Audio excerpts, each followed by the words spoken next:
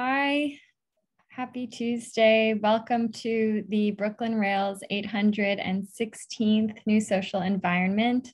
I'm Carolyn, a programs associate here at the Rail, and I have the pleasure and privilege of being your MC today for a conversation featuring Julia Tulovsky, Komar Melamid, Olga Zaikina, and Johnny Sagan. We are thrilled to welcome poet Eugene Ostashevsky here to close today's program. Before we get started, the Brooklyn Rail acknowledges Black Lives Matter. Here in New York, we are on Lenapehoking, the unceded land and waters of the Wappinger, Canarsie, Munsee, and Lenni Lenape people of the Delaware Nation and Shinnecock Indian Nation. We recognize land acknowledgements are not a replacement for necessary decolonial work, but serve as a reminder of place, of the legacies of dispossession and enslavement that sustain and enrich the stolen land we are speaking from. And now to introduce today's guests and host. Julia Tulovsky is curator for Russian and Soviet nonconformist art at the Zimmerli Art Museum at Rutgers University, where she has organized more than 20 exhibitions. A specialist in Russian art, she has published broadly on Russian avant-garde and contemporary art in both Russian and English. Vitaly Komar and Alex Melamid were born in Moscow. In 1972, they founded SOTS Art Conceptual Eclectic Art based on cliches of the Soviet propaganda and world's art history. In 1974, their works were destroyed by the Soviet authorities during the disbanded Bulldozer exhibition. And in 1976, their works were smuggled to New York, where they have work, been working and, and exhibiting since 1978. Olga Zaikina-Kondur is an art historian and curator whose research focuses on modern and contemporary art. She earned a PhD in 2022 from Pennsylvania State University. In her dissertation, Art in the Late Soviet Apartment, she examined the role of domestic materiality and related everyday practices in Moscow conceptual art. Olga's work has been published in many notable journals. And our host today, Johnny Sagan, studies fine art and art history at Hunter College. He's an alumnus of the Hunter Painting Fellowship and the Mellon Public Humanities and Social Justice Scholars Program. He is currently working on two books, Hatching a Spirit, The Journey of the Moscow Conceptualists, and A Seismograph of the Soul, Art as a Spiritual Practice. Thank you all so much for joining today, and I'll turn it over to you, Johnny. Hi. Uh, am I, am I, is this thing on? Yes. Hello. So I'm so glad that we have Vitaly and Alex here, Komar and Melamid, because these are legends. These are very unique artists, and it's wonderful that they have a huge and very detailed retrospective at the Zimmerli Museum at Rutgers University right now that we can go and see. And it's, of course, an especially interesting moment to go look at the legacy of Moscow conceptualism because history seems to be repeating itself uh, in tragic and tragicomic ways right now. And I think the Moscow conceptualists have a lot to show us about how to survived dark times by uh, sort of taking refuge in the various powers of art against the principalities of the world uh, who may be ma- making life difficult for us. Um, an exciting time. Yeah, Komar and Melamid are going to have a lot to say about this. It's a it's an exciting time because at Hunter, we are actually preparing an exhibit of second generation conceptualists who many of whom were mentored by Komar and Melamid, which is going to open at the Hunter Galleries in September. So it's just a really interesting time to reflect on the Moscow conceptualist legacy. Um, I want to begin by having Alex and Vitaly say hello. So can you two say hello to the group that is gathering? Vitaly Komar is in his studio, um, and Alex is in his. And it's wonderful that in the new social environment, we can uh, connect almost psychically here on Zoom. I also want uh, our two special guests uh, on the panel to say hello. Uh, Julia Tulovsky, can you say hi from your perch at the Zimmerli Museum? Hello. And then Olga Zaikina is an expert in Moscow conceptualism. She's also one of my teachers at Hunter, and she's taking part in the organization of the second generation Moscow Conceptualist Show. And I'd love for her to say hello. Hello, everyone. It's my pleasure to be here. Yes, wonderful. And I also see uh, another teacher who's helping organize that show in the audience, Daniel Bashkov. Hi, Daniel. And Yuri Albert is here, and he is a second generation Moscow conceptualist. He's going to be on the show. Yuri, where are you? Hey, Hi, Yuri. where is he? You've, you've got to find him. There are hundreds of people here to see you, Oh, but he's in there. I can see him. Oh, hello, Yura. Hi. And he he actually has uh, wonderful interviews of both Vitaly and Alex in the catalog for the show.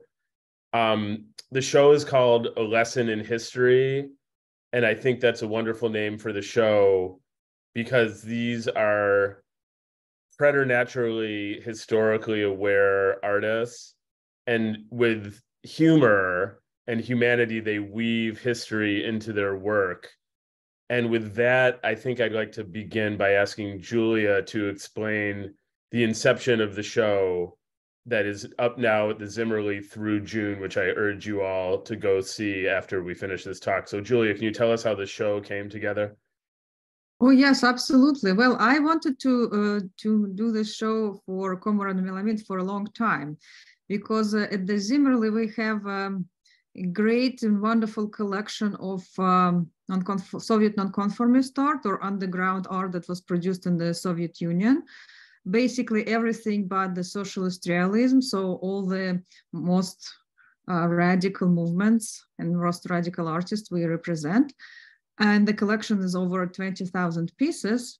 And Komar and Melamid, as um, one of uh, my fellow critics uh, uh, and uh, curators, Andrei Yerofeev, uh, pointed out, are the gen- generalissimuses of uh, Soviet nonconformist and underground art and Russian art in particular in general, because if one judges by the influence that the, the work um, that had on other uh, artists, and uh, that includes uh, artists of in Russia and also internationally.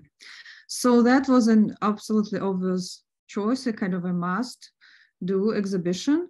And um, I was thinking about it uh, for a long time, uh, and it had a different title, but of course, um, it had to be rethought after the uh, invasion uh, of um,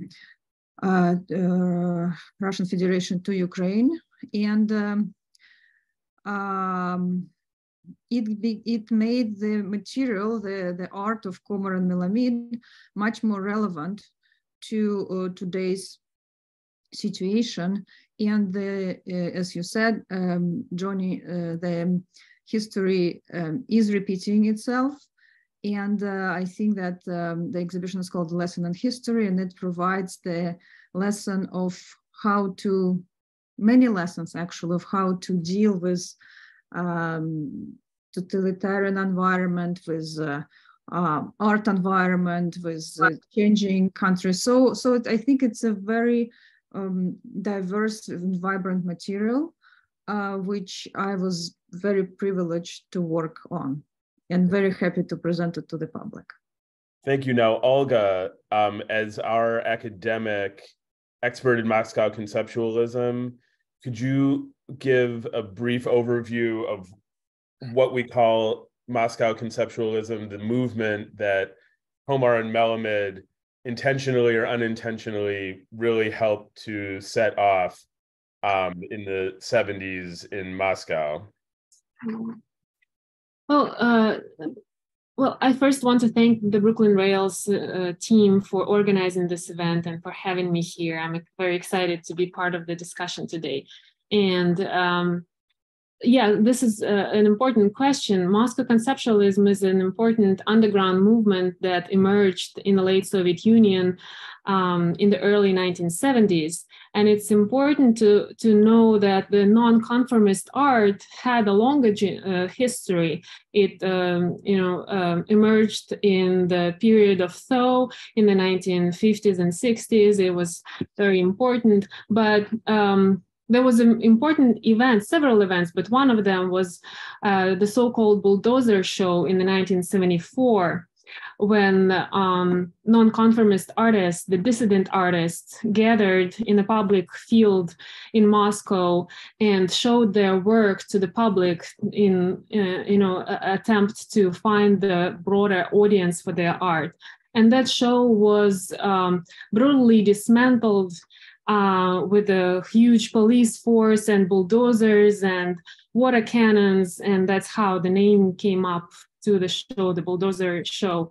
Um, and uh, that uh, uh event became a kind of um, an important um, place in the history of unofficial Soviet unofficial art when the new generation of artists decided not to search for public attention and kind of go into the underground and um, use the uh, ideological uh, language as a tool to undo the ideological canons and cliches of official culture. And that's how the new generation of Moscow conceptualists, Moscow unofficial arts came up to the scene, the artistic scene.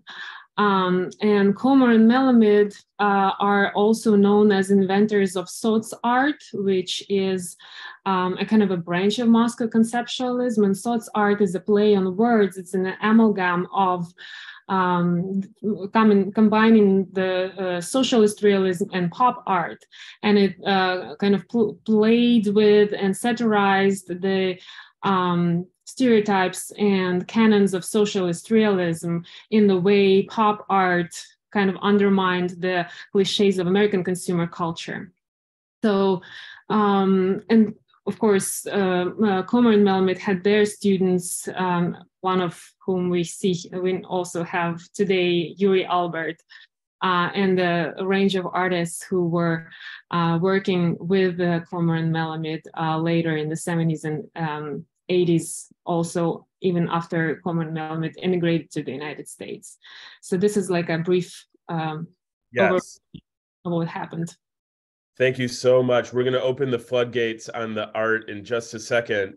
But first, I wanted to ask Vitaly and Alex for our first lesson in history from each of them.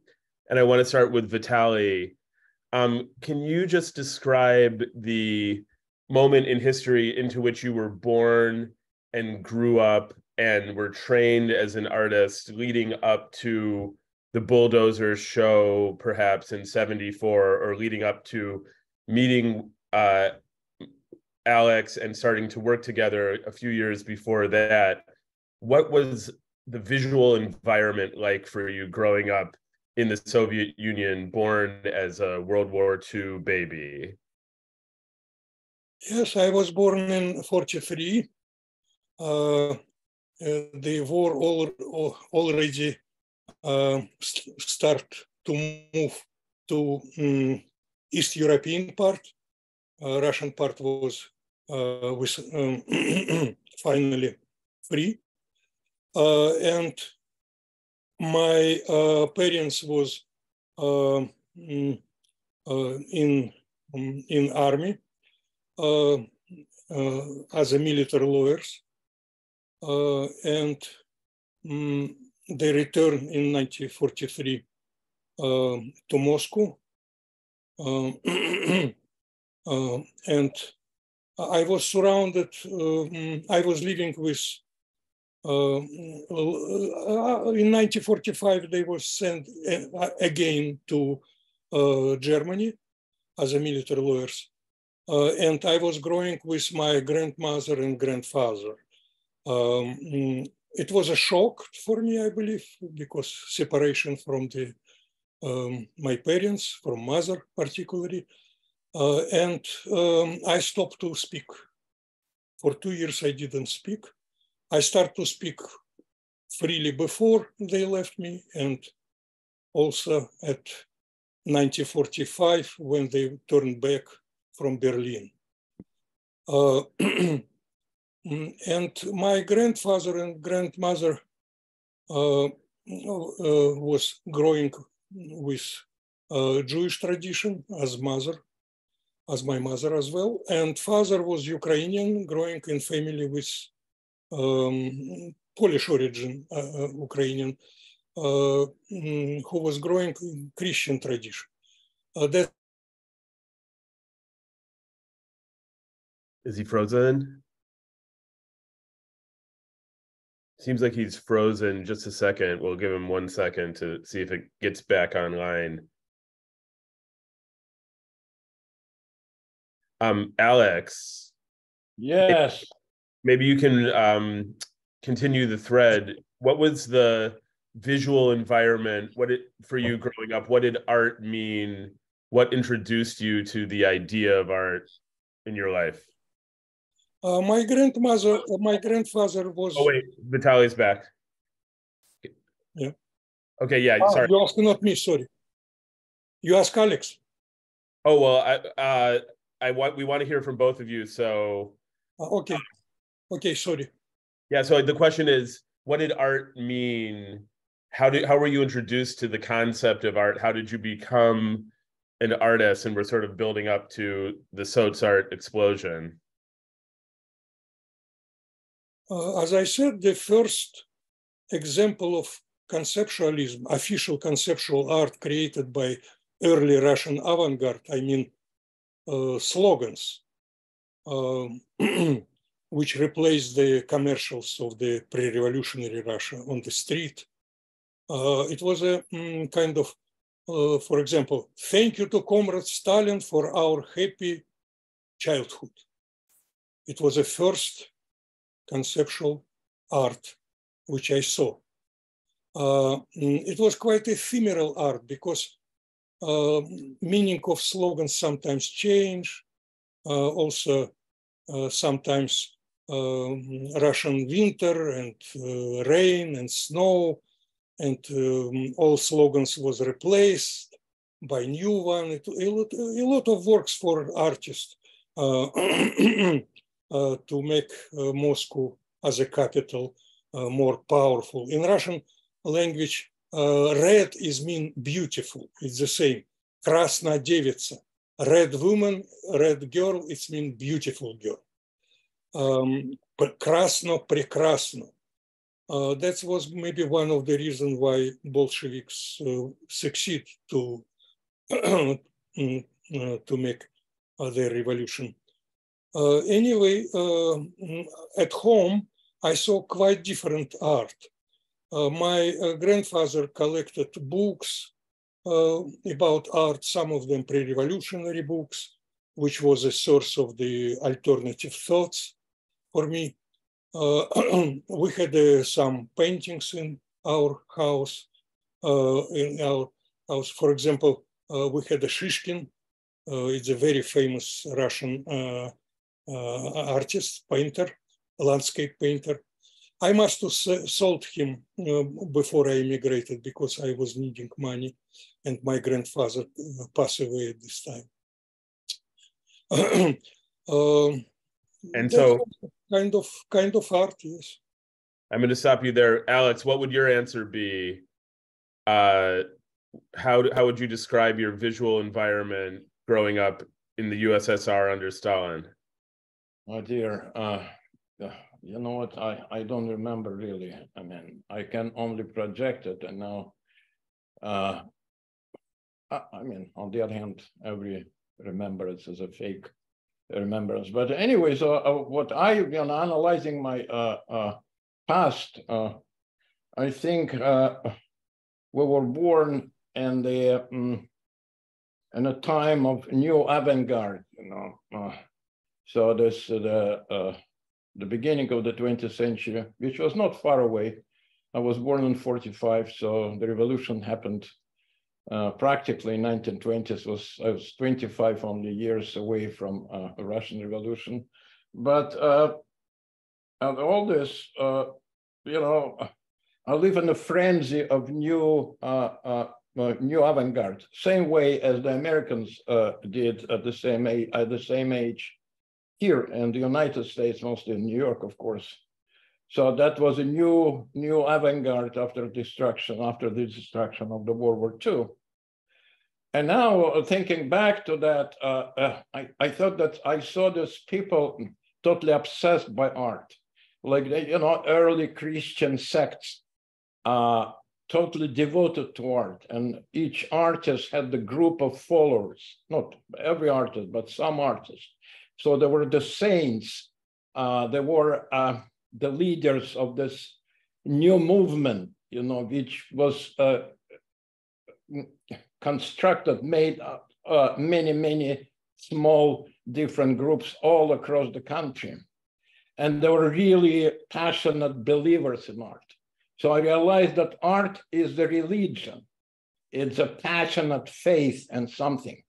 But now looking backward, I mean, looking now, I understood that mm, more and more what uh, a Russian philosopher of 19th century said. We think we're the doctors, but we are the disease. I realized that all the calamities and the worst of events that had happened in the 20th century, the responsibility is uh, should be uh, of art. So art is the reason for what has happened in the, uh, uh, what had happened in the 20th century. And fascism, Stalinism is uh, parts of this um, uh, of the art modernism. You see this, and uh, you have to understand it uh, very, very. Now, the, of course, this function of art has changed, and I want to read you a quote from Gerhard Richter he he's quite uh, he's a quite a successful artist as far as I understand. And he says it about the art now. Art is a wretched, cynical, stupid, helpless, confusing, a mirror image of our own spiritual impoverishment, impoverishment, our state of forsakenness and loss. We have lost the great ideas, the utopias. We have lost all faith everything that creates meaning. So your your uh, description of a Russia that was teeming with hope uh, and faith in art is a description of Russia in the thaw when it became possible to. Well, it was before. It's the same it was at this uh, the processes the moral processes were the same everywhere what uh, uh, jackson pollock was doing you know in america in the late 40s uh, and the 50s was done in russia a little bit later maybe in the late 50s or mid 50s but it's the same thing you know we think about different things separate from uh, the world. Uh, right part is... of the world the world moves in the same direction. You see it's not uh, you know you saw not stalin but uh, coca-cola advertising or some other slogans but in principle they are the same. So it's not russia specifically as russia as a part of the world right so we're talking about people trying to heal from the trauma of World War II and, and the trauma of the mass slaughter they witnessed. Trauma of communism. Yeah. We're always traumatized, but our environment. Right. And so in this environment of people trying by one means in the nonconformist movement to heal and to resist and to push for more freedom after the thaw from Stalinism, you and Vitaly started making this work that appropriated the trappings of communist sloganeering. And can you just give us a lesson in history. What was your headspace? What was your mind frame in making this work at the time? Exactly what uh, what uh, uh, I don't know Russian. I mean American pop artists, or I mean they were not called pop artists yet, but uh, the, the same intention, exactly the same. I think you cannot take us out of the world and bring into Russia because Russia is is the world as much right. as America is. You see, There's right. No- to draw attention to the disquieting uh, totalitarianism of the environment, whether Russian or American. Exactly, because those American artists were fighting uh, uh, the system they lived in. You know, it was the McCarthy era. It was the era of era of uh, mm, Partisan Review magazine uh, and uh, stuff like that. So uh, that right. was a very unsettled time, you know, and people were trying to find an exit from that into this bright and amazing future, to the second coming, to uh, to the end of the world. That's very interesting. That uh, a great American critic, uh, Harold Rosenberg, called American abstract abstract art uh, apocalyptic wallpaper. And it's very true because that was the, uh, because it was apocalyptic, because people were waiting for the, uh, the nuclear war and uh, they still haven't, reco hadn't recovered from uh, the World War II.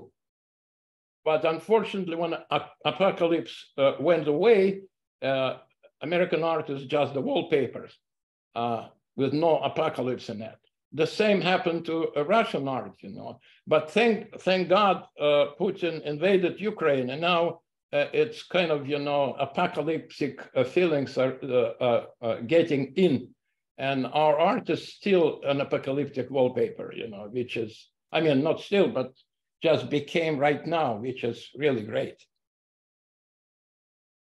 Definitely. I mean, right. I think I think what you're pointing to is the fact that we're all embedded in these power relations uh, in this struggle for survival and we displace our hope for redemption from religion to art hoping that somehow by occupying ourselves with this creative work we can forestall our doom or bring on our redemption.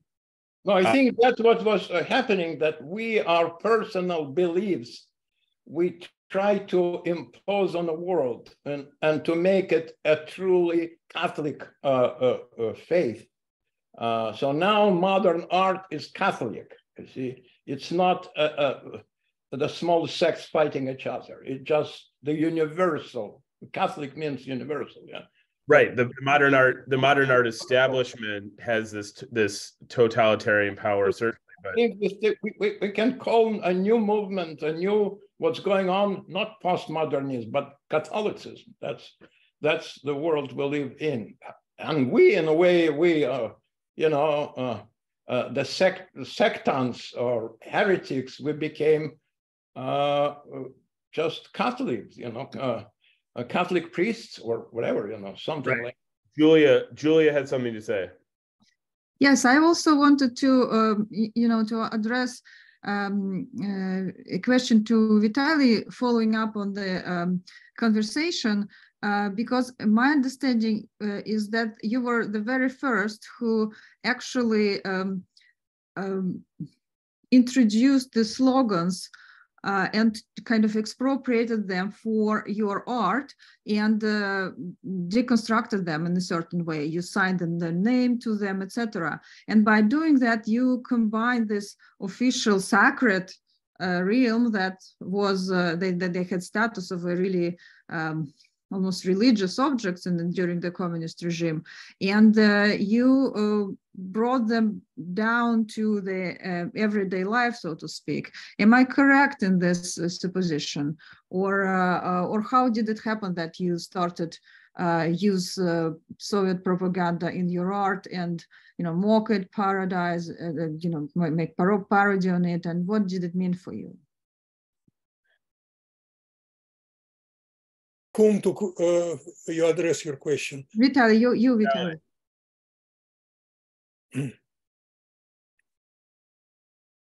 Uh, I start to um, think about art when I remember my first ch children, ch children dream. Uh, I think origin of art inside of human minds because uh, from my point of view, uh, our dreams, our visual impressions, uh, I mean night dreams, of course, what we see as a, our dream uh, in our mind. Uh, it's a kind of alternative reality uh, and it's very attractive and it's a kind of kind of drug for our mind. Uh, and I think that's origin of the art in our dreams. And um, now uh, the Freud and uh, Jung as a psychologist not so popular, but I believe there was very close to very simple explanation of origin of art. Uh, it's an attempt to fix, fixate, to make it more or less uh, long-lived uh, phenomena. And um, letters, alphabet was born as a development of kind of hieroglyph of characters of ancient Egypt and even drawings in ancient mm, stone age on the in the walls of the caves is uh, difficult to say it's a story or it's art? Uh, it's something in the same time at both? It's an attempt to depict something happened for example the the um, mise-en-scène of the hunting for the animals or its description of the hunting? Uh, in russia in russian language uh, thanks to um, greek connections, живописец, artist, painter, also is something who is writing. It's a, uh, it's a kind of not just because writing was also with uh, help of brush as a, in Chinese tradition of hieroglyph, for example. It's very difficult to separate depiction of the character. For example, in Hebrew, each form, visual form of character of the letter, each letter, has a lot of symbolic explanation, even, even it means the, even numbers. It's difficult to separate the characters, slogan, and visual art. For me, it's for me my personal problem. Uh, I, uh, my wife, she's um, a poet, a psychologist, and uh, making a lot of translation from one language to another. Uh, and I tell you that even the most difficult Russian artists, uh, poets, impossible to translate in English, more or less uh, similar. Uh, and when we're speaking about art, we try to translate visual language to verbal language it's almost impossible, even more difficult than translate poetry from one language to another. Uh, uh, for example, Vasari, who was one of the founder of such a translation from visual art, uh, he mm, replaced description of the mm, art itself by some anecdotic details of the biography of the artist, etc. Because it must be something about what, about what we're speaking that's a big it's important thing that's our understanding of beauty in art and beauty in nature absolutely difficult absolutely different sorry sorry my english difference different. Because beauty in nature without historical context. It could be beauty of abstract clouds on the sky as an abstract art with no connection with what's happened for this terrible life in uh, on the our earth or beautiful life. Sky is not changed, but beauty of art always in historical connection or in historical context, even better to say in historical connotation. Uh, and that's uh, one of the reasons why we met if you invented artist, for example, um, Buchumov and Zyablov, is a, we call it legends.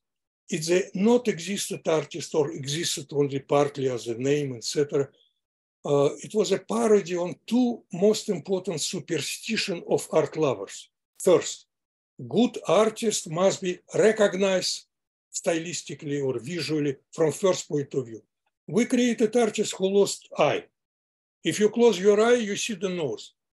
And he start to depict in his painting his nose. If you see the nose, that's the Buchumov. Another superstition, good artists must to discover something new in art. And we create another artist, abstract artist of 18th century. His dark, varnished, and in, crack, in cracks painting always has that date, 18th century. It's the abstract art of 18th mm, century. It's another parody, parody on the uh, second most important superstition oh, of artists and art lovers. That's, uh, I believe, mm, for me personally, it was very important. It's, a, it's no difference in our dream, no difference between legend, between existent artist or not existent artist. We see such a realization of the dream. That's why I love conceptual art. I love Marcel Duchamp, but my uh, but I'm always really love uh, Marc Chagall because he was most closely artist to the idea of dreams from my point of view. Well, and I, I, I my disappearance, uh, my uh, my cat was uh, uh, uh, throwing up. I was cleaning after my cat. Oh God! to be, I've excused. I'm sure. Yeah. You know, it's always somehow connected to art. It really is. I mean, there's this. I I love that you talk about uh, finding inspiration in dreams and the worthwhileness of pursuing the impulse to share an idea and tell a story to the point of fabricating a fictional person if that's what it takes to make the point because I think that's what's so powerful about your work. It has a, prophetic uh, quality in both senses of the word in English. It has this satirical, um, judgmental, historically informed sort of righteous harangue of the people around you and commentary on life, which is what the prophets in the Bible do, but it also has a future predicting quality, which is the other sense of prophecy in English, such that even this fictional character you made, Apelles Zyablov, to criticize the notion that artists have to aspire to be so momentous as to invent new techniques in certain ways prefigured the way that your work was received outside of Russia by people who wondered how you created how how you invented conceptual art and all these other genres and techniques when in their perhaps blinkered view you were incarcerated behind the iron curtain.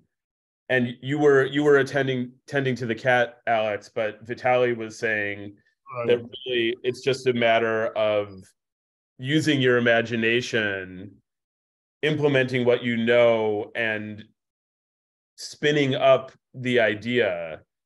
And that i think is something that the I, I disagree with that. Can give us, I disagreed with that, you know, com uh, uh, completely. You know, I think it's uh, uh, art, at least as I see it nowadays, is just a phony religion, you know, which uh, is responsible for a lot of atrocities, as I said already. You know, like uh, Christianity was responsible for many atrocities. There's some debate that art brings something good but I don't see any good actually. I, I, I never asked people, you know, what is good about art, and nobody could explain to me clearly, you know. It's all ref, uh, referred to some unknown forces of uh, something which is called spirituality, but nobody could explain to me what spirituality is. And all this Marxist uh, analysis or Freudian analysis of art uh, doesn't doesn't uh, explain uh, anything actually in art, you know. And I said it's exactly like a, a, religious thing, you know. And now it's a really uh, force, uh, the most reactionary force possible, you know, because it anti-enlightenment force.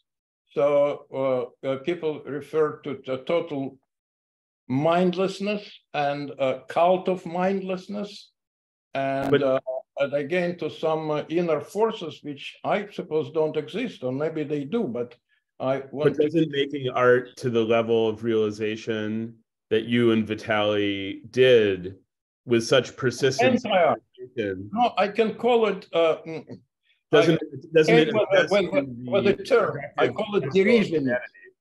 We hated art we were cynical about that, as, as I understand it now. I mean, I, I don't want to uh, impose my ideas on anyone, but it was anti-art because I think art is, is a menace and danger.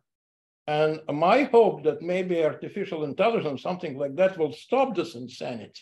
I'm not saying that it should be eliminated or something like that, but it should be squeezed into a small uh, group of people. Now everyone is an artist. There's a billions of dollars spent on this nonsense. You know, uh, there's a uh, it's it's it's insane, you know, insane. And now there's uh, uh, countries which were outside of the European idea of art, like China and stuff like that, came in, and there's a millions of spiritualists, millions and hundreds of millions of people who something do, you know, just uh, dirty canvases, and then they say we're artists and we represent something which doesn't exist. That's that's that's it. And it's not the first time. I mean, in history, you know, uh, human mind and human uh, of uh, power uh, went into a total dead end. That was uh, that what happened to this. Uh, here, here, here are two of your predictions from the 70s in your scenes from the future series of a bombed out Guggenheim and a bombed out MoMA reclaimed by nature. Vanity, right. vanities, all is vanity. Oh, absolutely. Lonely can stretch far away. Look at Guggenheim. It's a totally nonsensical building, you know. Absolutely nonsense. So, Some claim that it's pretty or beautiful. I don't see it. Maybe it is, but uh, uh, I don't know what is beautiful, you know. And then uh, there's a total nonsensical pieces of uh, a guy who was a theologist and spiritualist and a total idiot, uh, uh, Kandinsky, were represent, represented. Have you ever read Kandinsky's pieces, you know, about spirituality? You know? Oh yes. It's it's it's it's it's absolute twaddle. It's yes. the demise of a human mind. It's so idiotic that. Kandinsky, uh, Kandin... Blavatsky, of course. I mean, of course. What do you think, Omar? Uh, I think uh, I think Kandinsky never speak about vanity. Vanity not dangerous. Idea of vanity is not dangerous it's a different different story. I don't know. It's, it's really we we cherished. You know, before we left Russia, uh, and uh, we realized that we couldn't take any work with us uh, mm, uh, uh to uh, to the west, to the place of our immigration, and we were not sure where we were going to settle. so I was sitting in this big library in Moscow and reading uh, Malevich's or, uh, I mean, writing. It's, I mean, uh, uh, the whole art is just how low the human mind can go. If we put, you know, Schrödinger on one uh, one side and uh, Malevich on the other side, we see the uh, uh, possibilities of human mind, you know, from uh, the great mind of uh, Erwin Schrödinger to absolutely mindlessness, of, of, of stupidity of, of, of uh, uh, Malevich. It's, it's so clear, you know. Some people say, oh, stupidity is good, but like in a Trump, you know, I mean, Trump is stupid and he is a great hero, you know. So it's a direct link, link between Malevich and uh, Donald Trump. I'm sorry to say that, but that's true. Oh, absolutely. And, and here we're talking about we're talking about destructive forces and artists of destruction. But I would argue, and I love your brilliant performance of the curmudgeon, that you and Vitaly represent a productive force and a constructive, a truly constructive, not constructivist, because you're anti all isms, but a truly constructive force in art. But again, it's anti-art. Look at this uh, uh, poster you, you, see on, on, on screen, you know. It's, it's us, uh, uh very young, obviously, and we think, you know, uh, if you don't believe in anything, believe in us. We think of you, you know. It's a parody of uh, art as religion, or not parody, just a, a, a explanation. Right, but it's a parody so good that it turns in on itself, and it it helped create a, a thousand artists. I mean, this is why you developed. I, I feel really sorry for that, but I hope that uh, this uh, art insanity will stop uh, and uh, uh, rather sooner than later. I'm too old, of course, to witness that, but uh, maybe from above. And I'm, I'm I mean, the only thing will go up directly up. Art is sane art, the sublimely in the sublimely sane art that you and Vitaly modeled for us and future generations. Yeah, what do you what do you what would you like to say, Vitaly? Uh, I just to, uh, like to say that uh, many of these uh, posters, black and white posters, represent self-irony, and I never took it seriously. It was a irony about myself, about right. pretension of pretension of to be leader. Right, which is the most important tenet of sanity in life and sanity in history is to have the irony about yourself to know that you shouldn't form some kind of cult of personality and attempt to create some kind of utopia that is guaranteed to end in tears but you should just work on the poster and make the poster good enough to get a laugh. Okay olga what would you like to say yeah, I'd like to jump in if you don't mind and uh, follow up on uh, Vitaly's earlier comment and Alex uh, about the conditions that uh, kind of force us to see art in a certain way and you know develop our criteria to approach art.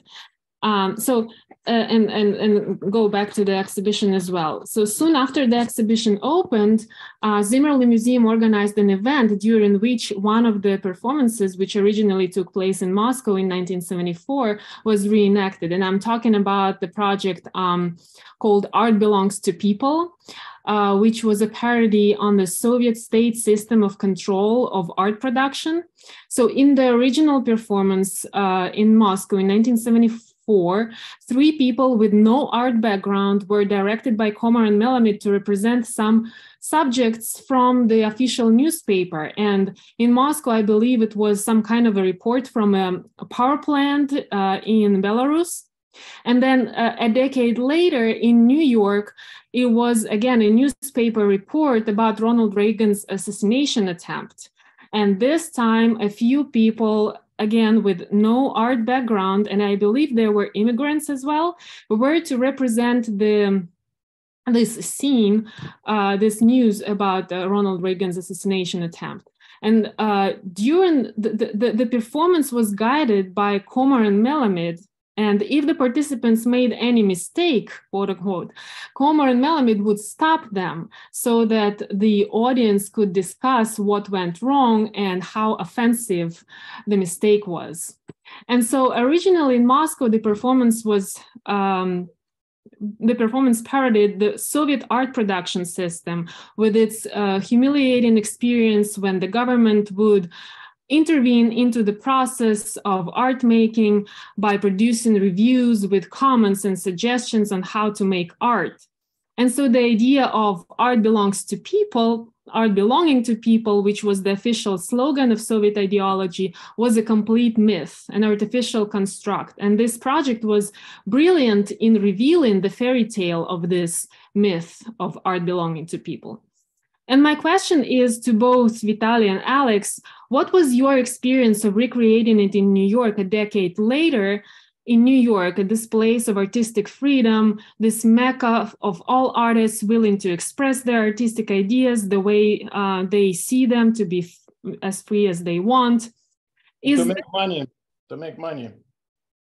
That's what people, uh, uh, artists are uh, care about the most, you know. Come to New York to be rich and famous. Right. You know, but it's interesting in the social realist environment, and here uh, art uh, uh, came up to the same American abstract expressionism, you know. So all roads lead to American abstract expressionism, you know. But actually, this was not the first performance in Moscow in 1974 because the first performances uh, uh, were done in 1883 in, in uh, Paris when the people who couldn't, never painted and never never made drawings or anything, but uh, uh, having a show of their uh, art. Unfortunately, nothing is left, but as far, as far as I understand, they were the first abstract expressionists ever. Mm. The, and, and what do you think about the recent reenactment of it in the Zimmerli? How did the audience react to your instructions in these uh, three different instances and in the Zimmerli in particular? How did you feel about your instructive role didactic interventions back then uh, in about that you know it's just because now everyone with a clear consciousness could say oh the result is so beautiful so nice. We got used to this you know there's no controversy anymore. It's so beautiful. they painted the whole wall on two huge canvases charming, amazing, beautiful. That's the result, you see? And whatever you do, it's charming, amazing, beautiful. Ah. I, I have to say that it was a lot of fun. And, uh, you know, Alex and Vitaly were giving instructions and Alex told the participants that you have to paint from your gut. And they were came out there in front of the canvases and really did this very energetic painting. And uh, it was it, it had that this whole action had quite a quite a bit of energy. But the result the result it's beautiful. Result is amazing Alex. amazing no? i mean great. Yes I mean, that's, absolutely amazing that's it. That's that's the a bottom line so have we uh, finally reached the point of uh, uh, uh history of art when art really belongs to people now? I mean, to a public, of course, you know. I mean, I mean, to some rich people, I suppose, but to some people, definitely, yeah, absolutely. But uh, uh, look at this art fair, you know. I mean, there's a lot of beautiful, amazing, amazing works, just magnificent works. That's that's the bottom line. A lot of beauty and magnificent uh, uh, uh, just is produced every day and every second. Alec, you also mentioned that you think, that art and you know modernist art is responsible for the uh, happenings and the atrocities and whatnot of the history. And uh, in this respect, I wanted you to ask you to elaborate a little bit more on how the spirituality did this. And also uh, you know there is an opinion that your own art uh, with uh, Vitaly uh, really parodied and opened up the way to parody the system and uh, opened up people's mind to really um, deconstruct it to to mock it and uh, which contributed greatly to to its eventual demise because people's minds uh, were, uh, were ready for that. So um, can you comment on these two things, please? Uh, you're asking me, yeah? Yes. Yeah, uh, and uh, yeah, no, uh, you know, there's uh, the 20th century was built, uh, and we still live in the 20th century to some degree, uh, on three kind of pillars. Uh, it was uh, Marxism, and everyone who's someone was a Marxist in the 30s, 40s, 50s, and 60s, and even the 70s. I I, I saw this real Marxists here, and they still continue. Then uh, Freudianism, and everyone was a Freudian, a Freudian uh, here in New York in 1978, as far as I can tell. Uh, um, uh, when I came here, uh, uh, everyone went to a shrink at least once a week, but mostly twice or three times a week. And modernism. so this was the three destructive powers, you know, which defined the 20th century with all this stuff. Uh, because you have to understand, modern art, uh, modern art, modernism, let's say, became uh, has become associated with uh, uh, uh left, with the left, with Marxism, with the Soviet communism, but it happened absolutely accidentally because after the Russian Revolution, the only people who agreed to cooperate with this new government were the modernists who said, yes, of course, we're always uh, uh, for, uh, for the revolution, we, for a revolution, uh, it's a revolution is ours, and we, I mean, we, we, we, we want to collaborate with you. So the rest just uh, uh, disagreed. And so, and for some years, not for too long, they were really in charge of everything in art in, the so I mean, in the Soviet Union at that time. But practically, in pra I mean, in essence, uh, art, uh, uh, modern art is much closer to national socialism than to the Russian version of socialism. Uh, if you, uh, mm, uh, of course, Italian futurism, as it was presented by Sarfatti or by Julius Evola, all these theoreticians of, of, of fascism in, in, in Italy, they all were, you know, uh, they all supported and uh, cherished this uh, uh futurism, Italian futurism. Uh, and and all these things which went into art and we see from the members of the Theosophical Society, like and followers of Madame Blavatsky, like, as I mentioned, Kandinsky, T.S. Eliot, uh, Uh, uh, Mondrian. Uh, so this mysticism of there were very close to the ideas of fascism and contradicted uh, the communist ideology. So modernism is, is a more fascism than a communism, much more in its ideological intentions and, and uh, uh, you know, and, and uh, realization of intention. Uh, on the other hand, my parents wrote the first biography of Hitler in, on, in Russian language. And they were trying to prove in this biography, clandestinely, of course, not directly, that uh, actually there is not much difference between uh, Soviet communism and, and uh, German and Italian fascism. I don't know whether they were right or not, but it seems to me that they were right, actually. So modern art is a very murky, very, very, yeah, very misty, you know, ideological system, you know, of the superstitions, fighting against uh, mind for uh, mystery of, of the world, you know. Now what Putin says that uh, Ukraine invaded uh, uh, Russia or Putin saying that he doesn't believe that uh, uh, uh, he, that he lost uh, elections, you know, you can say whatever. That's was very it's a mystery, you know. So he said it, you know. Artist said it, and therefore it is true. So it's a totally, uh, and that's what art is. People say, uh, I don't know, Picasso is a great artist. Why is he a great artist? What is the notion, explanation, or what is this about? You're insane, guys who believe in this. It's just insanity. We need to stop it.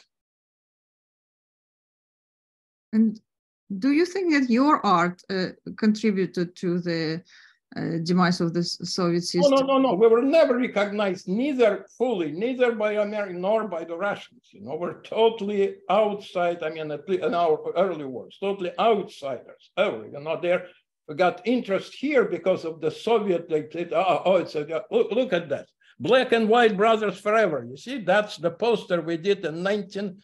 Uh, 78 or, uh, uh, uh, or 79, I don't remember. Can you show these posters again? I mean, again, please. Yeah. Glory uh, forward to the final victory of capitalism. Huh? Isn't it true? No, go ahead, please. That, that, that, black and white brothers forever. That's it. So there's many, many posters like, uh, that. So that's right. It was, so... it was not anti-art, but we said art is a nonsense. You have to stop it. But we were misread because everything was covered by kind of anti, you know, dissident, anti-Soviet, blah, blah, blah. And at that time, anti-Soviet Sovietism was very popular, just has become very popular in uh, here in, in this uh, uh, intellectual circles of, the, uh, of, of New York. And I met a lot of people at that time uh, of this persuasion? Well, oh. my answer would be. Oh, I'm sorry, I'm so emotional because you know I'm at the end of my life, and uh, mm, uh, and Gerhard Richter wrote about this uh, wretched, cynical, stupid, helpless, confusing uh, what art is, and he's at the end of his life, obviously as well. So it's the wisdom of the old people. Don't forget, we're very old spoken just like a prophet, relentlessly roasting us to make us be better. But it is, you know, it's obvious where we fall short. Look at this uh, Gerhard Richter's work. It's idiocy. It's nonsense. Don't you see? Right. Yours is better because yours is actually funny and it's actually about something and my answer to Julia's question would be that yes, by relentlessly making fun of these party functionaries and fearlessly doing so, Komar and Melamid did help to hasten the demise of their dictatorship. And now we are at the top of the hour. And so we wanted to open up the floor to some questions from the audience. Um, does anybody have any questions? And yeah. uh, Carolyn, yeah. would you let us know? Yeah, thanks so much. Um, so let's see, we have a first question here from uh, Charles Olson. Um, so Charles asks, do artists have any responsibility to society and our political context beyond truth to our own process and vision? Feel free either Alex or Vitaly. Vitaly. Is he there? I, I, you can see me. You I can, can see me. Yeah, yeah, yeah. We can see you. Uh, because uh, I had the impression that I uh, disappear from the screen.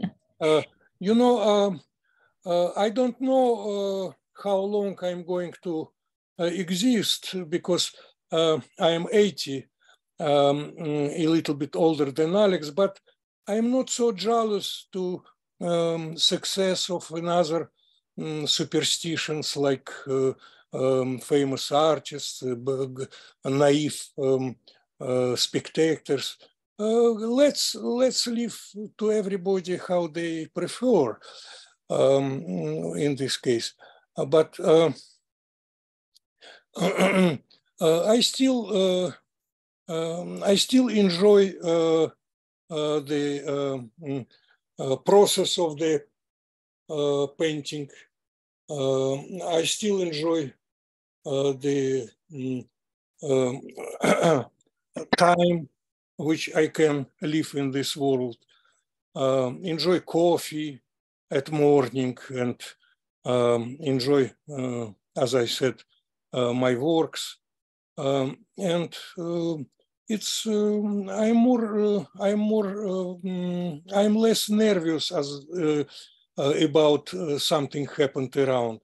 I understand that uh, something terrible, tragedy, stupid, and even crazy leaders like Putin doing bloody crime in Ukraine, and I'm doing some works related to these um, uh, things. But uh, mm, I, I, believe that everybody have a right to exist. Mm, and um, Ten Commandments uh, limited us. Uh, for example, don't kill anybody. I agree. This is a terrible, terrible uh, sin. Uh, and even our post ethic of contemporary art can prevent us from such things. Um, because we we touch now a lot of a lot of not personal things. We're speaking about happiness of humankind um, instead of just speaking about uh, people next of us. Uh, it's very easy to speak about happiness of the world. It's much more difficult uh, to make happy next of you. I think that's a great answer. Um, I just happen to have reached in the slideshow. I just want to share as much art with people as we can. The People's Choice Project, which in one way is a wonderfully cynical satire on the uh, dictatorship of the proletariat of Western capitalism, of consumers' preferences as dictated to them by corporations, but it also beautifully illustrates what you just said, which is a kind of humility about really caring about the very quotidian needs of the people around us and caring for the people around us enough to want to know what they think and this was a, a project where Komar and Melamid told people, members of the public in different countries, about their preferences as to art and discovered ideal and least ideal uh, configurations of possible paintings for each nation that they conducted these studies in. So this was the ideal painting of Americans, and this was the absolute least wanted painting based on their polling process. So even this this difficult problem of whether we should address ourselves to saving the world and what's best for the world or what's best for us and those around us has been canvassed in Komar and Melamid's practice in a wonderfully witty and graspable way not at all mystical and pretentious and inscrutable. Um, and they're even willing to, they've even been willing to reach a collaborative handout to animals in their history and to not only propose collaborations with beavers and termites, acknowledging the kind of commonalities across species of the desire for a good life, but they actually collaborated with chimpanzees on photography and elephants on painting. This is a result of one of their elephant paintings. So sublimely ridiculous, yes, but also super worthwhile to open up real conversations about issues great and small, which is why uh, these guys are legends, and we're so lucky to have them with us to deliver their testimony as primary sources. And we're lucky to have this great retrospective at the Zimmerli Museum, uh, which I urge you all to go see. Are there any other questions from the audience? Yeah. Um, or Julia, please go ahead if you have something to add. Hang on, you're just muted. Um, one second. Sorry, yes, I'm sorry. I just wanted to uh, follow up on uh, um, John's invitation uh, to, to uh, visit the museum and also to tell that Komar and Melamid collaborated with musicians and in particular composer David Soldier, who wrote music uh, related to their most uh, to their People's Choice project. And there will be performance of least wanted and most wanted music at the Zimmerli on June 18, which, oh, sorry, June 11, which is going to be repeated in Poisson Rouge in New York on June 18th.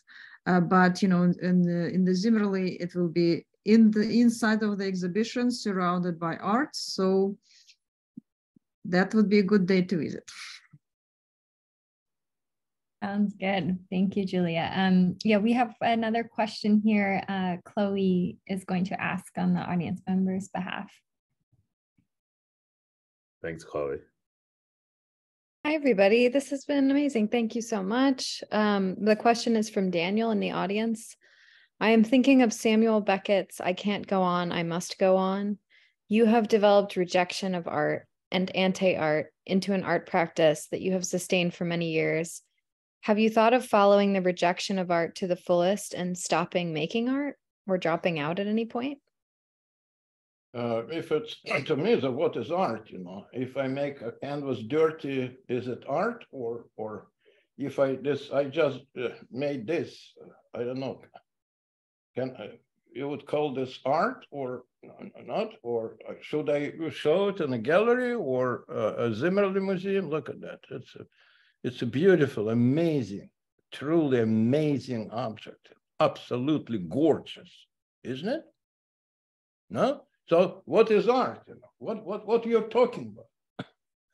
uh, it's uh, we don't know what we're talking about even uh, uh saying that. Uh, that. But trust me, we are in a dark uh, corridor and there's a no light at the end of the tunnel or the corridor, none. And we're totally messed up. And we, with our artist help, we messed up the world, you know. And it seems there's no way out, you know, no way out. But maybe there is. Think about this.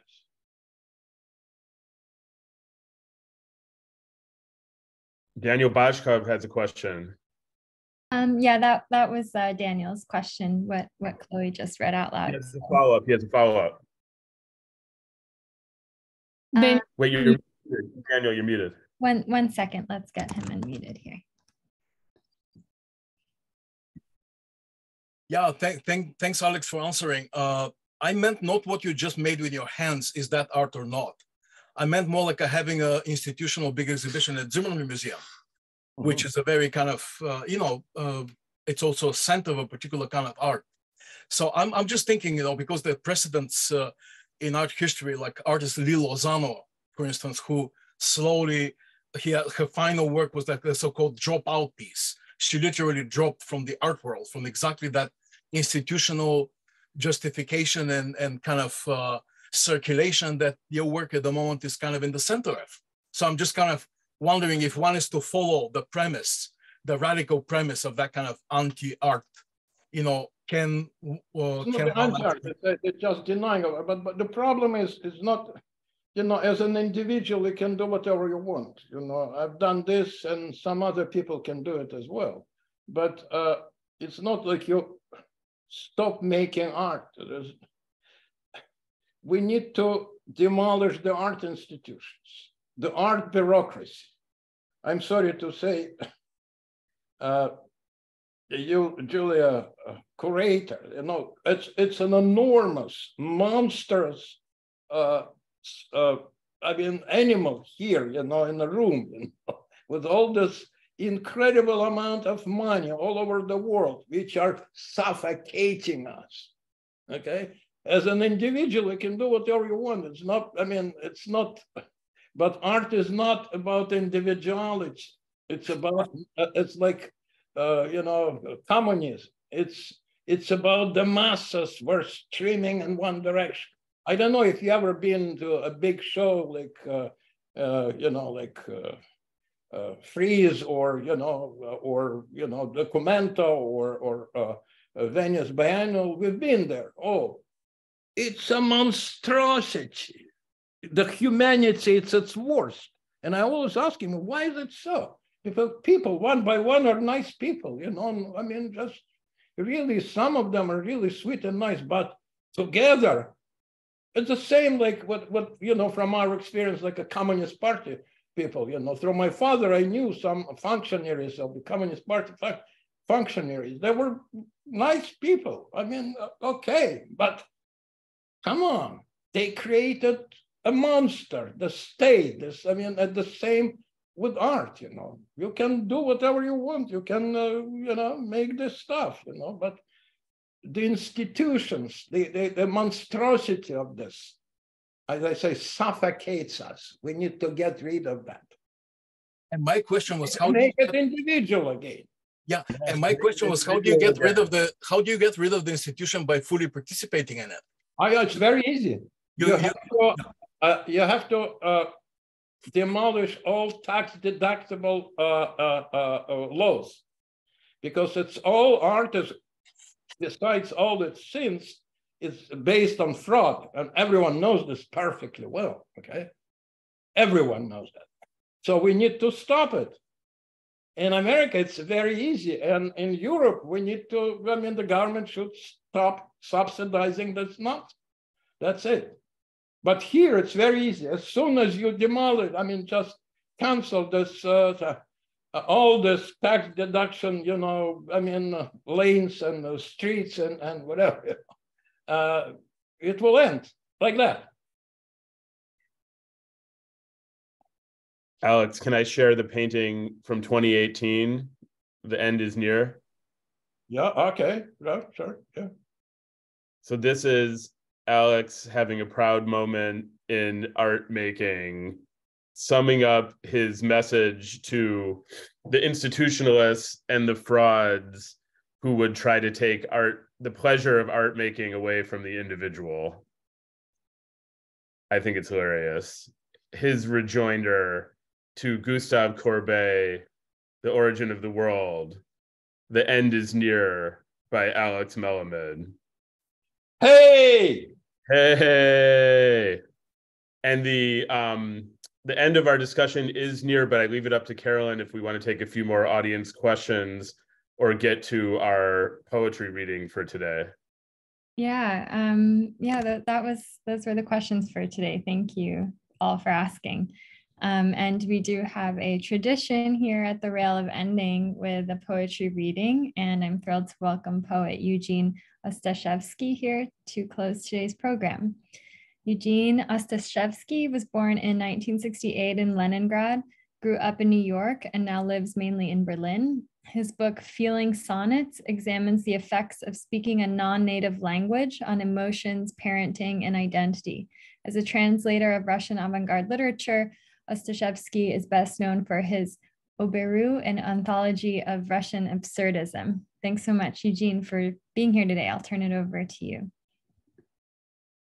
Hi, um, thank you very much um, for the introduction and thank you very much, Vitaly and Alex. I'm going to read a couple of poems from the Feeling Sonnets. Um, sonnet 12. A is for avant-garde. G is also for avant-garde. E is also for avant-garde. E is silent. It has been silenced. It has been silenced by the avant-garde. There's a guard in the avant-garde. It guards the E. The E has been silenced. It is a hard guard.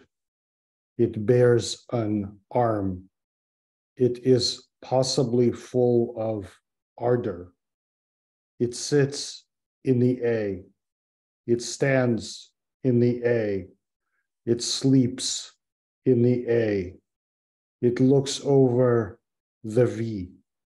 The V is a pen there is E in it. The E has been silenced. There is a van in the avant garde. Is the van avant garde? Is the van equal to the avant garde? Is the guard in the van? Is the van before the guard? Is the guard behind the van? Is there E in the van? Is the van being revved? It is being revved exhaustively. There's no E in the van. T is also in the avant garde. Is it also silenced? It is differently silenced from E. It is silenced differently. It is silenced guardedly. It is a T. Its silence is guarded. And the second piece, um, I'm going to read. Um, it's called Sowjetisches Ehrenmal Tiergarten. And um, in the middle of Berlin in the Tiergarten Park, there's a huge Soviet monument with a giant soldier on the pedestal with uh, two tanks and some artillery to the sides. Uh, the German word hero is der Held, and um, that's a, an important word in this poem. The hero is held. The hero is held over a park. The hero is held over a flame. He is held by fame. Has he a name? No. A hero is held to be a hero. By whom held? Whose hero? He, her hero because he has hose. What hose are those? Those are some hose. Has she no hose? No, he, her hero. Those with no hose are held. Those with hose are held. Those with no hose are held by those with hose than no hose? Are they held here? They are held here and there. They are held handily. They are held artfully. Come up, come up and hold my artillery. Thank you for coming. Come again. Thank you. Thank you so much, Eugene. Thanks for reading today. Um, and thank you so much, Alex, Vitaly, and Olga, and Julia, and Johnny for today's conversation. Um, we would also like to thank the Terra Foundation for American Art for sponsoring our NSE program and making these daily conversations possible. For their support of our growing archive, you can view today's conversation on our Rail YouTube channel shortly.